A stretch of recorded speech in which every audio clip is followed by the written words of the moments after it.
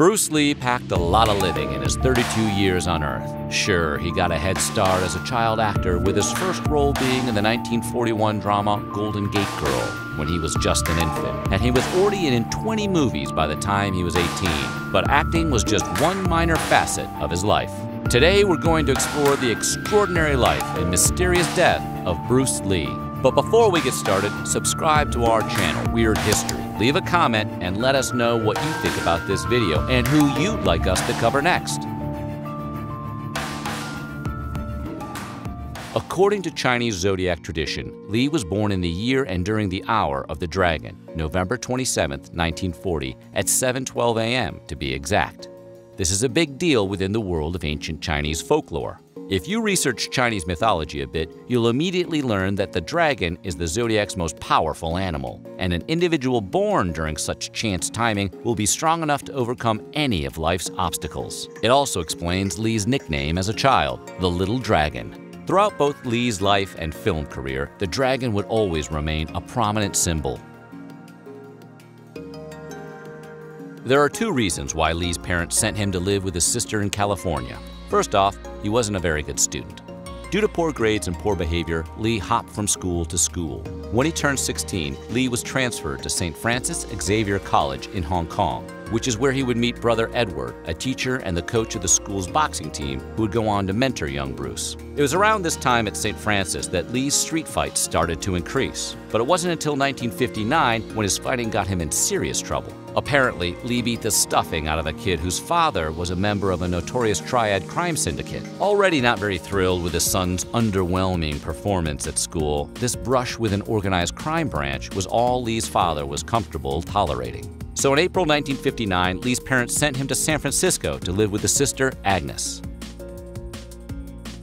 Lee was a health fanatic, and he was known for his intense diet. While he enjoyed indulging in Chinese food, he usually stuck to his regime of vitamin supplements and drinking raw, blended hamburger meat. That said, Lee was no teetotaler. He enjoyed a bottle of sake every now and then, even though he suffered from alcohol flush reaction. But his main vice was marijuana. It wasn't like he was trying to compete with Cheech and Chong, though. Lee usually didn't light up until after a vigorous workout. Lee kept a box of pre-rolled joints in his garage he'd smoke to wind down. It's said that he later transitioned from smoking marijuana to microdosing on a particularly potent form of Nepalese hashish he carried around in baggies in his pockets. He would nibble on chunks of the stuff throughout the day. If you're looking for a first-hand account, Bob Wall, Lee's Enter the Dragon co-star, said Bruce would have to eat two weed brownies before he would calm down into a normal person. Lee simply said, it raises the consciousness level.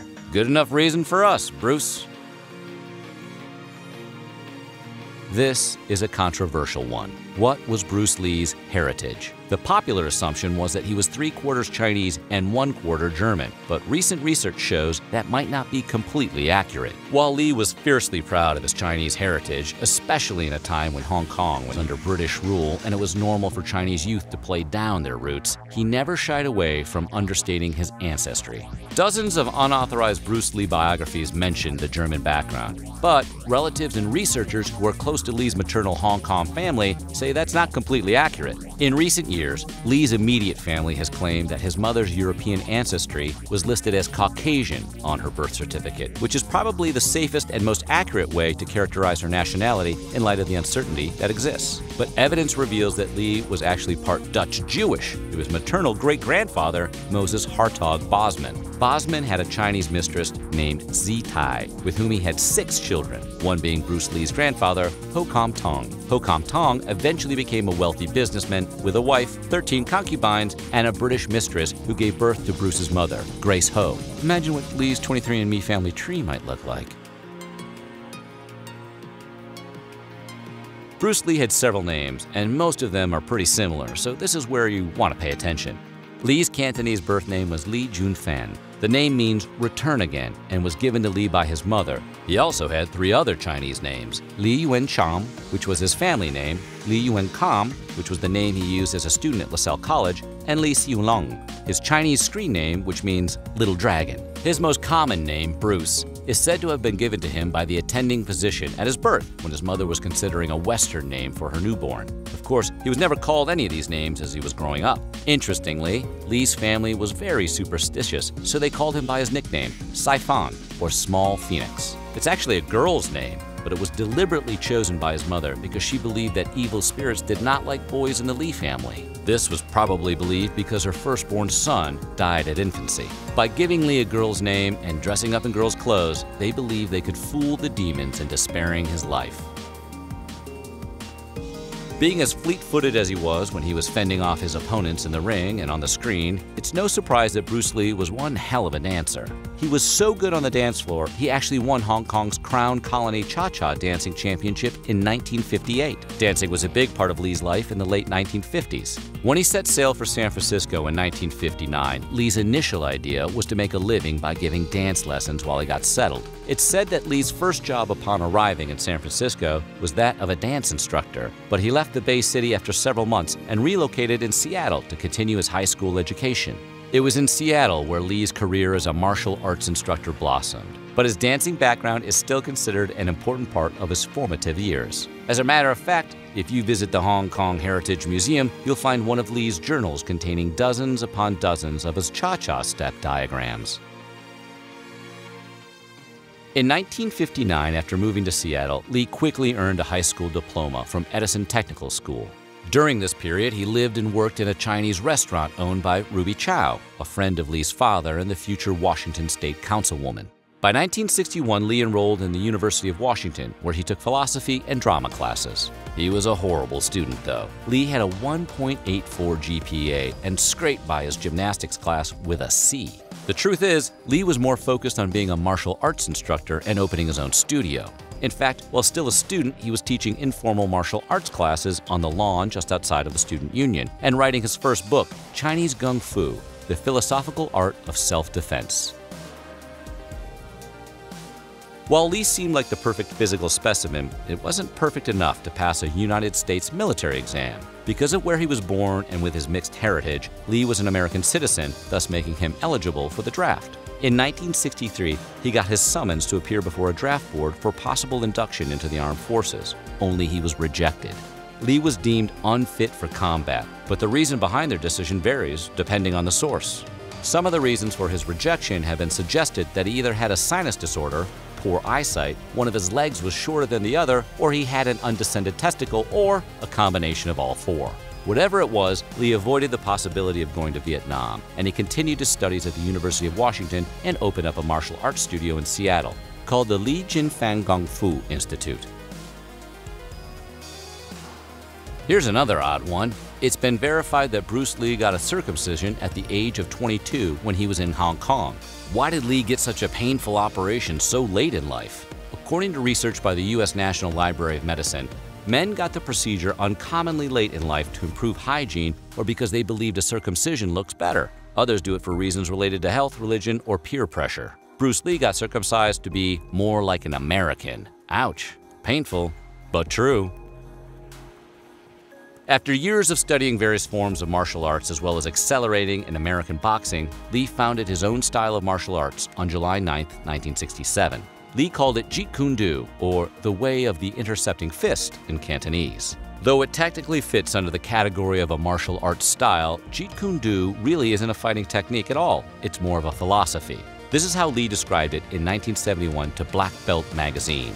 I have not invented a new style, composite, modified, or otherwise, that is set within distinct form as apart from this method or that method. On the contrary, I hope to free my followers from clinging to styles, patterns, or molds. Remember that Jeet Kune Do is merely a name used, a mirror in which we see ourselves. Jeet Kune Do is not an organized institution that one can be a member of. Considering Lee is thought of as a hardcore ass kicking fighter, his Jeet Kune Do is a surprisingly non violent form of fighting. The practice is a combination of minimalism and simplicity with as little wasted movement as possible. It has no rules, no reactionary patterns, or definable moves. Lee stressed that Jeet Kune Do is fluid. It constantly changes and fluctuates depending on what one's opponent does in live combat. When the producers of the 1966-1967 version of Batman, you know, the best one with Adam West, were asked to develop an additional live-action TV series based on a comic book, they went to work on an adaptation of The Green Hornet. At the time, Lee recently wowed audiences at the 1964 Long Beach International Karate Championships.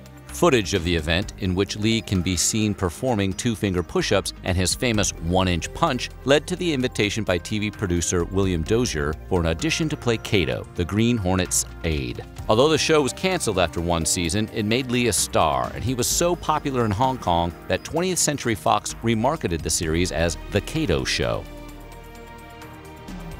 Despite being a relative newcomer to the entertainment industry, Lee trained some of the biggest stars of the era. As Lee's profile rose, his services as instructor were in high demand around Hollywood. A short list of celebrity students Lee taught and coached included Steve McQueen, Kareem Abdul-Jabbar, James Coburn, James Garner, Roman Polanski, Sharon Tate, and George Lazenby. Eventually, Lee became quite close with his students. Kimura was Lee's best man when he got married, and when he died, McQueen, Coburn, and Lazenby served as three of the eight pallbearers during his funeral. In The Wrecking Crew, Lee was listed as the movie's karate advisor, but he probably could have gotten a casting credit for getting his friend Chuck Norris a bit part with dialogue as a well dressed henchman. On August 13, 1970, Lee was performing an exercise drill known as Good Mornings, a weightlifting routine that has one place a barbell on their shoulders, behind the head, and then lower himself in a series of squats. In the middle of his first set of eight dips and without a proper warm up, Lee heard a cracking noise from his back. He was in severe pain for the next few days, and he used a combination of heating pads and massages to treat the discomfort, but he soon found out that he had severely damaged his fourth sacral nerve. The damage was so bad, it was unlikely that Lee would ever be able to kick again, much less walk without the aid of a cane or walker. He was forced to rest for the next six months, but eventually he resumed teaching and training, not because he felt better, but because he thought he'd given himself enough time to heal. He wasn't healed, though. Lee would suffer chronic back pain for the remainder of his life and this is about the time he began relying on hashish to help numb his back pain. This is also the period of his life when he was forced to use stunt doubles for certain moves like his somersaults as noticeable in Fist of Fury and Enter the Dragon. Back in early 1971, Bruce Lee pitched a TV series idea to Warner Brothers. Lee called the series The Warrior, and it would follow the ongoing story of a Shaolin monk, played by himself, who traveled through the American Old West with nothing but his spiritual training and his martial arts skills to guide him. Sound familiar? Warner Brothers didn't want to take the chance on Lee or his idea. They couldn't envision a series becoming successful with an Asian lead. Cut to February 22, 1972, when ABC broadcast the Warner Brothers produced Kung Fu as its Tuesday night movie of the week. The movie was a hit, and ABC ordered up three seasons of Kung Fu starring the American actor David Carradine. Bruce's wife Linda Cadwell went public in her book Bruce Lee, The Man Only I Knew that the concept for Kung Fu was an idea stolen from her husband, who pitched the idea a year earlier, but Warner Brothers denied everything. The studio even threatened legal action over Cadwell's allegations, but no suit was ever filed, probably because the studio didn't have a leg to stand on. Bruce spoke extensively about his idea of a television series of a traveling monk set in the Old West during a Canadian television interview. Carradine even went on record in a televised interview in 1989 that Lee was passed over for the role. Furthermore, Kung Fu's creator, Ed Spielman, confirmed that documents exist confirming Lee's involvement in the creation of the show. The popular story, after dozens of variations as to what happened, is that on the afternoon of July 20, 1973, Lee visited the Hong Kong apartment of actress Betty Ting, supposedly to offer her the role of his love interest in Game of Death, which was already in production. In actuality, Lee, who was married to Linda Emery for nine years, dropped by Betty's apartment for a quick nooner before he went to the office of Golden Harvest Movie Studio to go over the fine details of Game of Death. Betty admitted that she was his girlfriend. Lee arrived at Ting's apartment at 1 p.m., and the two spent the next several hours together. There was some sex and some hash, but no alcohol or harder drugs, she said. Sometime around 7:30 p.m., Lee felt dizzy and complained of a headache. Betty gave him a mild painkiller known as Equagesic, a pill she gave him several times before, and had him rest in her bedroom. Betty entered her bedroom to check up on Lee around 9:30. When she tried to nudge him awake, he didn't respond. Betty immediately called Raymond Chow, the head of Golden Harvest, who rushed over, found Lee's lifeless body, and called for a physician. He realized that he could not allow Lee to be found dead in his mistress's bed, so Chow arranged for an ambulance to transport him to Queen Elizabeth Hospital. At 10:30 p.m., the ambulance raced Lee's body to the hospital, but by 11:30, the press was already trying to confirm the rumors that he was dead. Although an autopsy would declare Lee's death an accidental reaction to the painkiller and subsequent brain edema, conspiracy theories still persist. Lee's death has been attributed to everything from a martial arts brain injury to assassination as punishment for revealing martial arts secrets to the white man. Because small traces of cannabis were found in his stomach, Dr. R. R. Lycett, the doctor who conducted Lee's autopsy, suggested that the cerebral edema could have been brought on by the result of some drug intoxication. Although Lee achieved a great amount of fame in Asia, where he remains a cultural icon, his grave is located at Lake View Cemetery in Capitol Hill, about three miles north of downtown Seattle. Lee initially met his wife Linda Cadwell when she was attending Garfield High School when he came to give the school a kung fu demonstration. Eventually, she became one of his kung fu students while she was attending the University of Washington, studying to become a teacher. Linda decided to bury Bruce in Seattle because it was home. It was where they met, where they fell in love and is where their family was raised. She said it's where the two were happiest together. Eager to cash in on his wild popularity at the time, Golden Harvest Studios, the production company that Lee worked with in Hong Kong, wanted to finish Bruce's partially completed Game of Death, but only possessed limited footage to work with. At the time of his death, Lee only shot around 100 minutes of footage, and most of it was coverage for the film's climactic ending, so the final cut contained a lot of shady editing and tasteless deception. All in all, it took five years after Lee's death for Golden Harvest to release the movie, most likely because of the studio's challenges in assembling a film that wasn't even roughly coherent. Golden Harvest reshot numerous scenes of Lee's character, Billy Lo, using body doubles, disguised stand ins, and even a wild plot change incorporating plastic surgery to explain the main character's different appearance. Though such antics are used by plenty of production companies, Golden Harvest went one step further. They actually sent a cameraman to Seattle to film Lee's corpse during his open casket funeral proceedings. Golden Harvest then used the footage in the movie as a plot device. In the final cut, viewers see Billy Lo faking his own death. In reality, it was a vulgar stunt that left a bad taste in the mouth of every fan who saw the movie. So what do you find most interesting about Bruce Lee's life? Thanks for watching. If you liked what you saw, follow us and take a look around at some of the other episodes of our Weird History.